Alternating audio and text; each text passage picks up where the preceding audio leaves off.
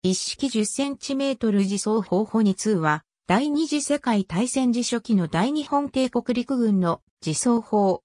1944年に対戦車自走砲に転用された。一式 10cm 自走砲ホニ2ホニ2は、1941年3月31日から研究が開始され、翌1942年2月に91式 10cm 榴弾砲をベースとする試作砲が完成した。製作は大阪陸軍造兵省である。試作砲は発射試験を実施、砲が叩くかが弱く、補強しなければならなかった。同年3月に補強を済ませ射撃試験を行ったが、1号、装薬、増強装薬使用時に、滑速管室と滑速管に不具合があり、回収。続いて97式中戦車地波の車体に搭載し 400km の運行試験を行った。運行中、砲と棒立てを指示する消火に動揺が大きく補強が必要と指摘された。後の試験でも砲が揺れ動いたと指摘されているが、運動性と弾道性は良好だった。砲撃には2号装薬と91式榴弾を用いた。1942年6月に新設計のユラカを用いた結果、機能は良好だったため8月には1号装薬での試験を行い、若干の修正点はあるものの実用に達した。本社は同年に一式 10cm 自走砲として正式化された。1943年には極低温時の作動確認のため、満州のハイラル付近で 191km を運行、92発の射撃試験を行っている。この時にはマイナス25度の寒さで中体液の粘度が増したため、消化が破損した。運行は良好であった。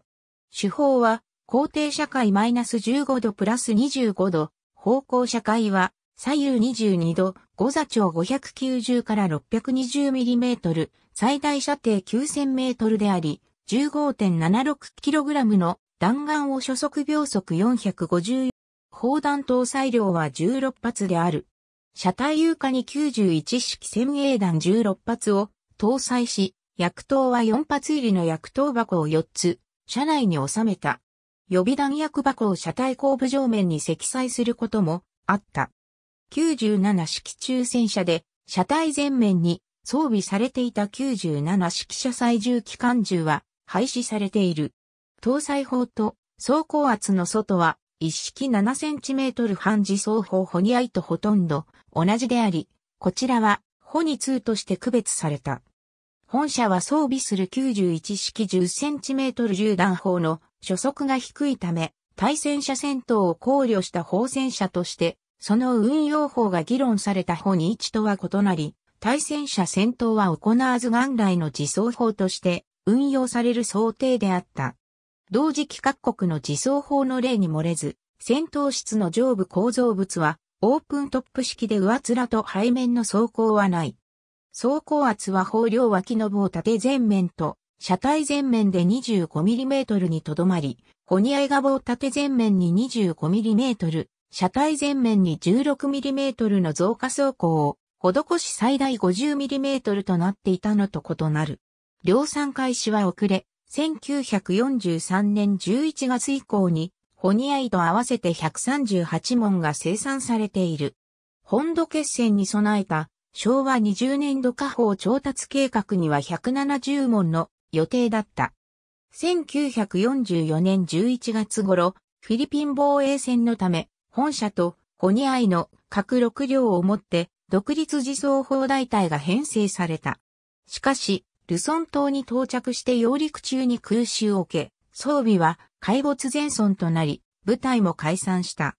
なお、これとは別にホニアイ4両が、戦車、第2師団の機動砲兵、第2連隊に配備されており、こちらはアメリカ軍と交戦している。本社が搭載する91式 10cm 銃弾砲の装甲貫徹能力であるが、鉄鋼弾の場合、後半貫通限界圧は車距離1500メートル、63ミリメートル、1000メートル、70ミリメートル、500メートル、76ミリメートル、100メートル、83ミリメートルであった。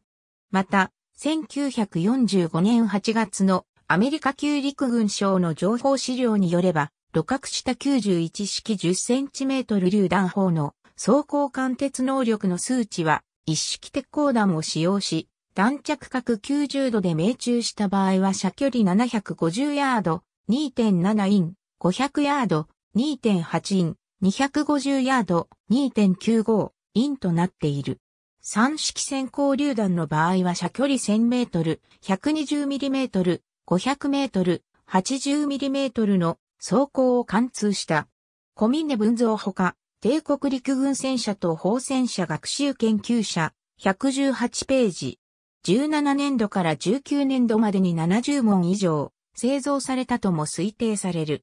Japanese Tank Antitank Warfare http コロンスラッシュスラッシュ usacac.army.mil スラッシュ cac2 スラッシュ cgsc スラッシュ carl スラッシュ wwispec スラッシュ number34.pdf 佐山二郎日本陸軍の火砲や砲三砲 P301 ありがとうございます。